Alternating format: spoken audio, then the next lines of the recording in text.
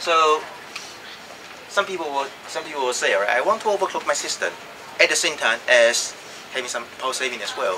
Fine, all right. If you want to make this dynamic, okay, open up your EPU. Okay, open up your EPU and set it to auto. Okay, set it to auto. Once it's been set to auto, once it's been set to auto, see here, when the GPU loading goes down, it will go down to 500 again. All right, it will go down to 500 again, which okay, which will give you about the penalty of about one percent performance drop.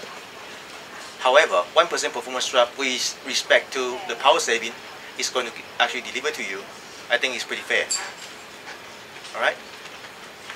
So basically means that we will, okay, our technology will actually allow you to, to will boost your GPU frequency whenever it's required. And once you actually go to the EPU, EPU time, all right, the EPU this time is a little bit different to what we actually had before. Right? Before we actually need to run like you know CPU calibration and all other things, which is very troublesome and like no, most reviewers don't even know how to use it. Okay, because the explanation is not very clear. All right, this time we actually make it very simple. All right, once you once you start up your EPU6 engine, it will actually start. Okay, instead of starting from a high performance mode, which is basically disabling EPU, we actually starting it up with auto, with auto, which means it's actually going to start with the power saving mode already. All right.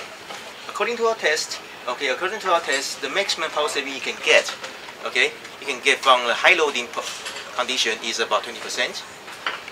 All right. And when you actually go down, okay, when you actually go down to the maximum power saving mode, okay, the maximum you can actually get is around 80% save. And if you are still not satisfying with all these configurations, okay, you say, all right, I want to save even more, fine. There is still a way to do it, okay? Once you actually set this to power saving to extreme, okay, from both sides, okay, of course, the high performance don't actually give you any power saving at all here, okay, at least for the CPU part. Once you actually do here, like, like so, it will actually ask you to calibrate the CPU, but it's on, only for once. You don't need to calibrate for the second time. Okay, once this is calibrated, the power saving is going to go even further. Alright, and then we are actually going to go into Core Unlocker and Turbo Key II. Okay? Now, Jack, how is this different from users in the past doing it through the, the BIOS? And, you know? Well, if you actually go into BIOS and actually drop down your Vcore by yourself, okay, you are going, you are, you are actually restricted to only one frequency and one Vcore. However, in here is dynamic change. Alright, so it basically means that when your loading is going high, the voltage goes up and frequency goes up. When your loading is low, you actually go down.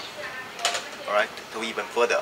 Alright, what we actually said, what we actually said in in here about by EPU is some is some values that will not allow you to put your system from. Okay, so it's very it's going to be very very power saving. So you're bypassing the system limitations. Actually. Yes, correct.